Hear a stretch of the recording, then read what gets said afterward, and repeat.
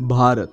चौसठ करोड़ देवी देवताओं की भूमि है, जो अपने प्राचीन और प्रसिद्ध मंदिरों के लिए विश्वविख्यात है। भारत देश के हर एक कोने में आपको विभिन्न देवी देवताओं का मंदिर देखने को मिलेगा, जो अपने किसी न किसी मान्यताओं के लिए प्रसिद्ध है। लेकिन इन्हीं में से कुछ ऐसे भी मंदिर हैं, जो अपनी रहस्यमय और अविश्वसनीय घटनाएँ को लेकर हमेशा चर्चा के विषय बने रहते हैं। तो नमस्कार दोस्तों, मैं ब्रदर्स टच आज आपके लिए भारत के कुछ ऐसे ही मंदिरों के बारे में लेकर आया हूँ, जिसका रहस्य जानने के बाद आपको उस पर विश्वास ही नहीं होगा। तो ऐसे ही रहस्य को जानने के लिए बने रहिए इस वीडियो के अंत तक। और अगर आप इस चैनल पर नए हो तो चैनल को सब्सक्राइब और इस वीडियो को लाइक ज़रूर कीजिएगा। तो चलिए बिना किसी वक्त गंवाए इस वीडियो को शुरू करते हैं। नंबर वन, जगन्नाथ मंदिर, पुरी। आपने जगन्नाथ मंदिर का नाम तो सुना ही होगा, जिसे हिंदुओं के चार धामों में से एक माना जाता है। उड़ीसा के तटवर्ती शहर पुरी में स्थित यह मंदिर भगवान विष्णु के अवतार श्री कृष्ण को समर्पित है। यहाँ हर साल लाखों श्रद्धालु पूरी दुनिया से भगवान के दर्शन के लिए आते हैं, पर 800 साल से भी ज़्यादा पुराने इस पवित्र मंदिर से जुड़ी ऐसी कई रहस्य हैं, जो आपको चौंकाने पर मजबूर कर देंगे।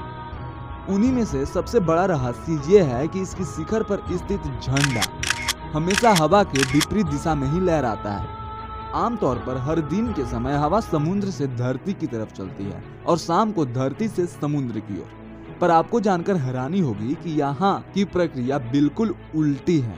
पर ऐसा क्यों? ये आज तक का सबसे बड़ा रहस्य है, जिसे साइंटिस्ट भी नहीं सुलझा पाए।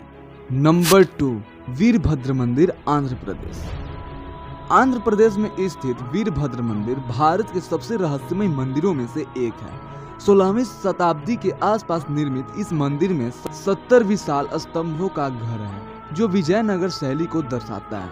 इस मंदिर की रहस्यमय बात यह है कि यहाँ की सत्तर स्तंभों में से एक स्तंभ मंदिर की छत से लटका हुआ है, जो कि ज़मीन से बिल्कुल भी स्पर्श नहीं करता, जिसे हैंगिंग पिलर के नाम से जाना जाता है। जहाँ अक्सर पर्यटक स्तंभ के नीचे से पतला कपड़ा या रूमाल निकालते हुए देखे जाते हैं, जो कि अपने आप में ही एक रहस्य है।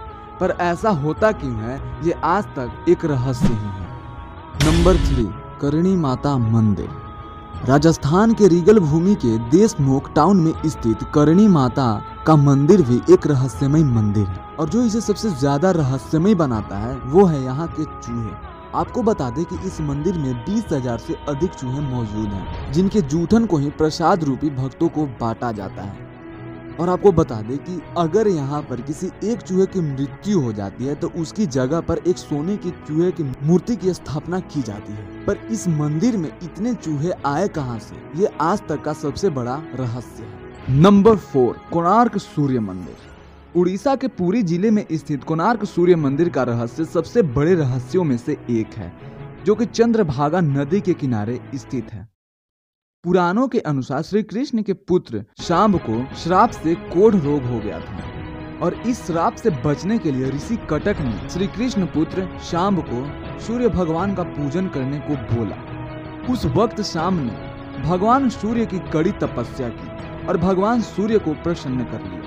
और निश्चय किया, वह एक सूर्य मंदिर बनवाए और उसके बाद वे वही चंद्रभागा नदी में स्नान करने चले गए। जहाँ पे स्नान करते समय उनको विश्वकर्मा की बनाई हुई एक सूर्य भगवान की प्रतिमा मिली, जिन्होंने वहाँ स्थापित कर एक मंदिर बनवाया, जिसे आज हम कोणार्क सूर्य मंदिर के नाम से जानते हैं। पर समय समय पर कई महाराजाओं ने इसका पुनर्निर्माण भी करवाया था। कहा जाता है कि इस मंदिर में पहले दो मंडप और एक गर्भगृह था। पर किसी कारणवश दो मंडप ढह गए।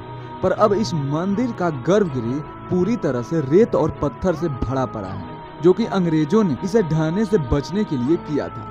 इस मंदिर का सबसे बड़ा रहस्य ये है कि यहाँ पर रात को अक्सर नर्तकियों की नाचने की आवाज़ें सुनाई देती है, और लोग इसके बारे में बोलते हैं कि ये आवाज़ें राजा की सभा में नाचने वाली नर्तकियों की है, जो कि अपने आप में ही एक रहस्य है। Number five. स्तंभेश्वर महादेव मंदिर। गुजरात में स्थित स्तंभेश्वर महादेव मंदिर भारत में अविश्वसनीय और रहस्यमय मंदिरों में से एक है।